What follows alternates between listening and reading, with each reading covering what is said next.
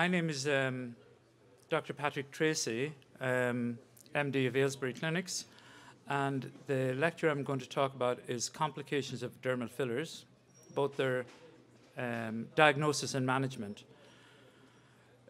You know, um, this is a topic that's of um, increasing importance because we're seeing complications go up. We're not sure necessarily whether it's because more people are coming into the marketplace or possibly it's the introduction of lignocaine into a lot of fillers, causing the vessels to vasodilate, and as a consequence, the rate of embolism um, possibly is increasing. We consider. Thankfully, most um, problems are very minor, and um, we know that soft tissue augmentation by dermal fillers is increasing almost in an exponential fashion. And this is from the American Academy of Aesthetic Plastic Surgeons. And we see each year that um, the amount of dermal fillers being used are more and more. Most people have realized that the best fillers to use are the ones that are approved by the FDA. Unfortunately, in Europe and probably in Russia also, um, we had a situation where all our patients were being used as guinea pigs, and at one stage in Britain and Ireland, we had as many as 168 different fillers on the market, when America only had four. Um, thankfully, as we reach um, 15 years into fillers now, we have a situation where most of the fillers that we use are safe, reliable, and mostly reversible. I'll quickly run through this because we only have 15 minutes, but I'm going to come back to this. If you have an accidental interarterial injection, the sort of things that will happen will be you'll get blanching, you'll get this livedo pattern, blue-black discoloration, blister or bulla, and then unfortunately skin necrosis. And I'll show you some examples, and some of them have happened very recently. As I said, most of the problems are very simple. Um, this is just a localized swelling, a little bit of steroids, dexamethasone, this is gone in two or three days. This happened to me, believe it or not, in 2001. This is one of my own photographs, and this girl was going to get married within four days. And she was fine. Um, and believe it or not, that happened with Restylane, and it's never happened to me since. But um, this is what happens. This patient here, you're going to get bruising, and bruising, I suppose you can minimize it yourself by telling the patient not to take things like omega fish oils, vitamin E in any one of its forms, be it um, cod liver oil, be it um, the omega fish oils, um, any of the things that sort of people like in terms of um, the oils tend to sort of contain um, vit vitamin E in some of its forms. The rest of the vitamins are okay. This is a problem from Sculptra, and unfortunately, this patient, um, and I don't want to sort of recognize per se, um, had a very uh, severe reaction with granuloma formation. Um, uh, we, we, think the doctor made up the solution at the wrong strength, and this was the time they were using 3 mils instead of 10 mils to make up Sculptra. Most of the problems happen as a consequence either of the doctor himself, either he injects too deep in the wrong location. The product, and by God, over the last couple of years, we had some terrible products. Inflammation, as you know, you can set up giant cell um, or um, granulomas. Infection, biofilm is happening more and more, and I'll show you some examples of that. And then um, vascular problems. vascular problems are the ones that you want to watch out for. The hyaluronic acids, in general, tend to be safe but we know recently they're adding BDDE, and as a consequence of that, uh, these plasticizers tend to uh, give us products, I suppose, that you can use in different areas of the face. And that in itself is good, but sometimes, and I'm not just isolating this company, every one of the companies now have their own um, uh, I suppose, hyaluronics with different cross-link patterns, with different amount of BDDEs, and as a consequence, the wrong product in the wrong place certainly can cause a lot of problems. This is a paper that I wrote recently on a product which has been pulled off the market, Bio-Alcamid. Bioform. I was speaking in Russia about two years ago, and I had to see um, some patients there that um, had a lot of these problems, and some of the pictures are from there. And this is a paper that I wrote on it. Bio Blue was one of the polyalkamides, the same as Bio-Alcamid, and um, this is the sort of problems that it caused. This is a product also that came, I think, from Russia. I'm sorry, I don't seem to be blaming Russia, Elena, but Riofil, it was used and it caused horrendous um, infection type problems later on, as did Bio-Alcamid. I seen a patient only last Sunday um, that had Bio-Alcamid injected in their face many years ago. Ten years later, it caused a problem, and I'll show you that. Radiesse, as you know, should never be injected into a lip, and you're going to get product migration. This is a famous case of somebody put Radiesse into this singer's lip, and um, it had to be taken out. Bio-Alcamid, this you ever get it, um, I'll spin through this. This is the way it comes out of the face. Um, it looks pretty horrendous. Arterial necrosis, this can happen quite easily. As you know, the um, labial artery runs on the posterior margin of the wet dry superficially, and if you hit that, that's what you're going to get. So you need to be well aware of that. Again, this is a patient of my own. I was doing a paper for Prime Magazine on atrophic scarring. Sorry, I redid that one in Prime. This is back in 2006. And the patient, I have had his photographs there quite innocently, had some um, of his um, acne scars, atrophic scars injected with Radiesse, and it hit one of the vessels. And you can see the progression over a period of days. And this patient recovered fully. This is a patient that was referred to me in Dublin with Radiesse injected. Now be careful if you're going into an area near the alar artery. If you're using hyaluronic acid fillers, you can reverse it. And I'll show you how to reverse it. And within 24 hours, most of these can be fully reversed.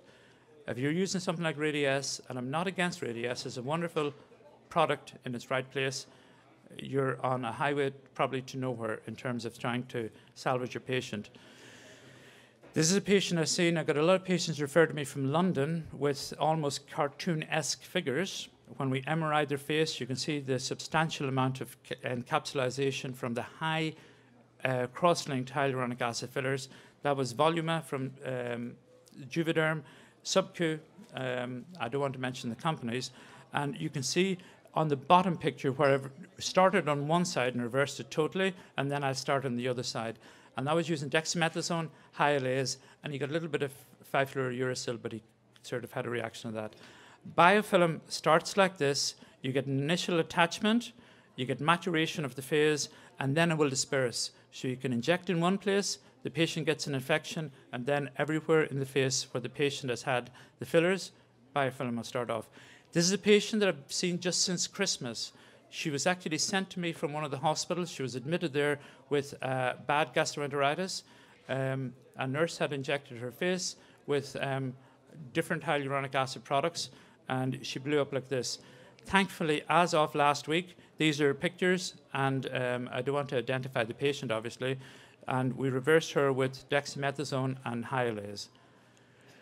This is the important part of the lecture. You've got to know your facial anatomy, and particularly in terms of the vascular structures. Um, even if you were just to know the branching patterns, inferior labial artery, superior labial artery, inferior alar, particularly the alar is the one that you're going to hit, the lateral nasal.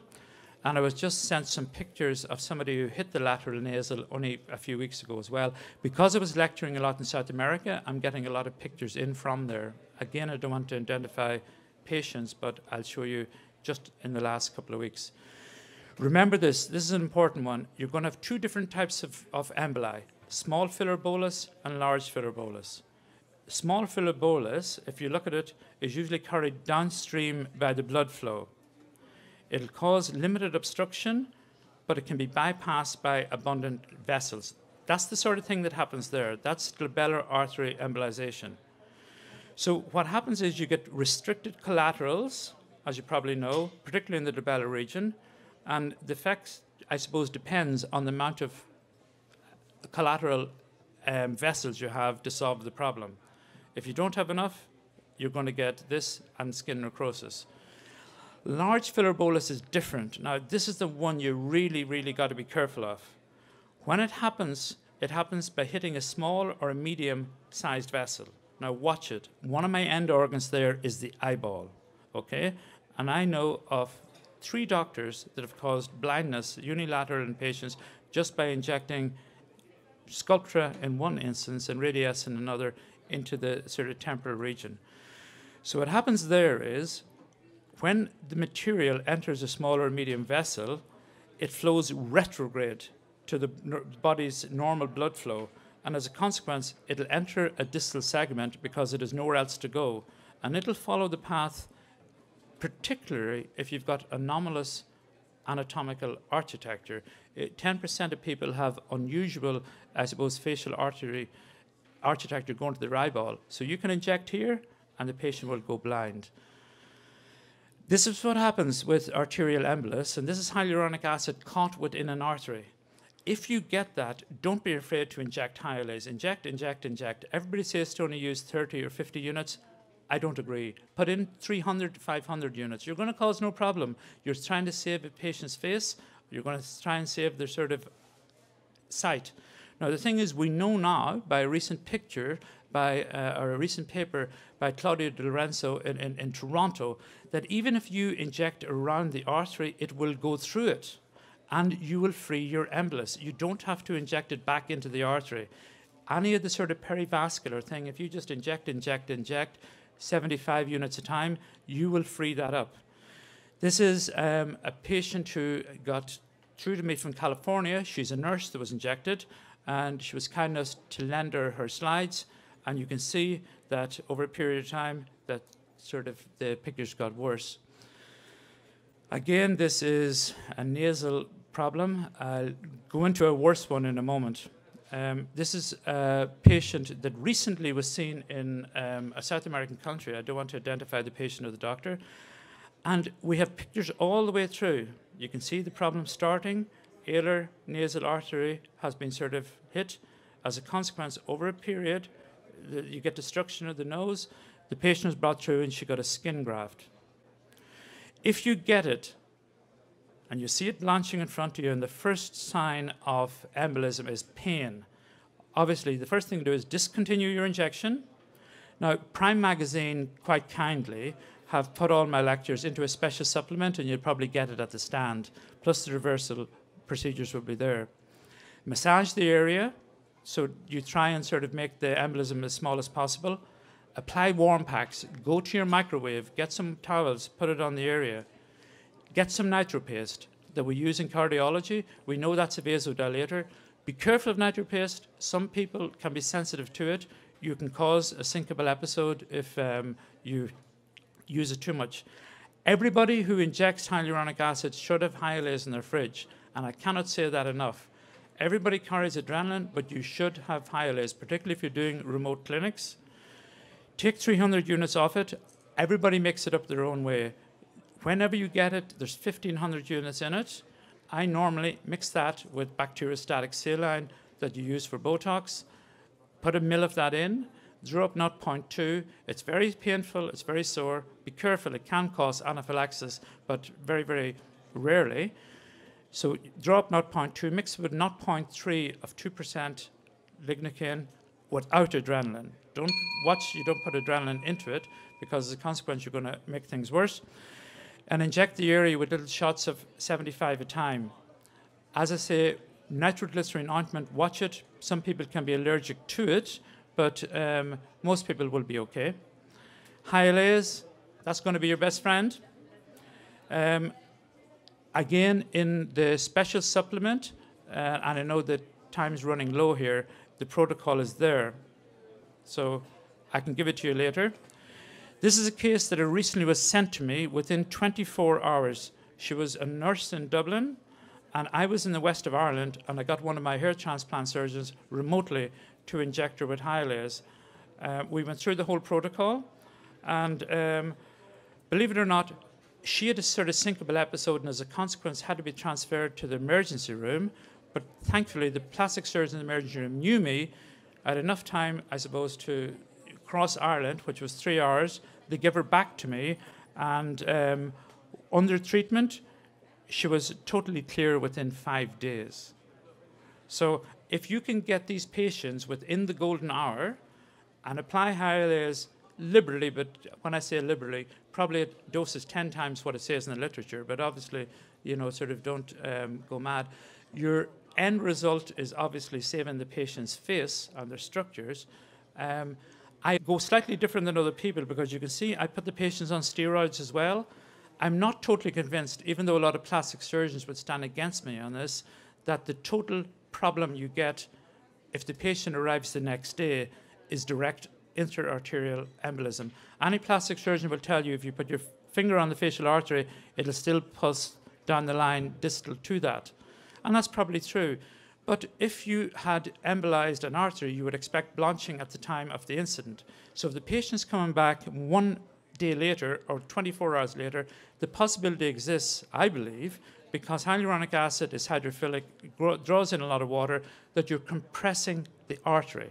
And as a consequence, it, the embolism may not be within the arterial structure, but outside it. And as a consequence of that, that's why I say add in dexamethasone. I give the IV and I give it orally. It's going to do no harm, and it most probably makes logical sense to me. And maybe in another two or three years, other people will do this, is to add in dexamethasone at the time. And I firmly believe, believe it or not, that that patient, even though we'd give quite a lot of um, Hyalase, she deteriorated within the hospital, not for anything more. I think that she needed some more steroids. And as soon as we give her some more steroids, her um, skin markers came back. And as I say, Prime Magazine have special supplements of my lectures. Thank you.